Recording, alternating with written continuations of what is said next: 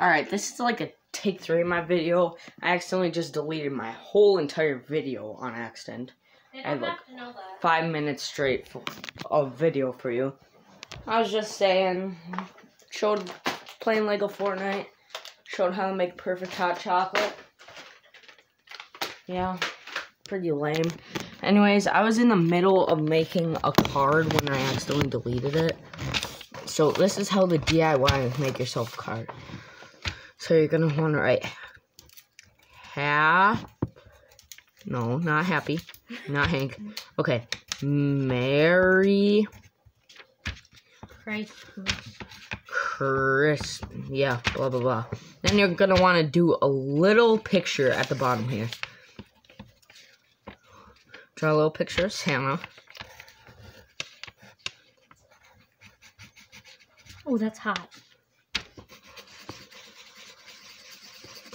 And then write on the inside to blank from Hank. To me.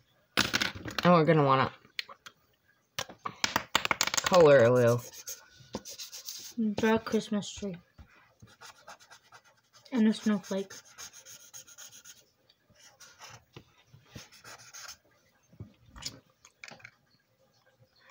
And there and there we have it.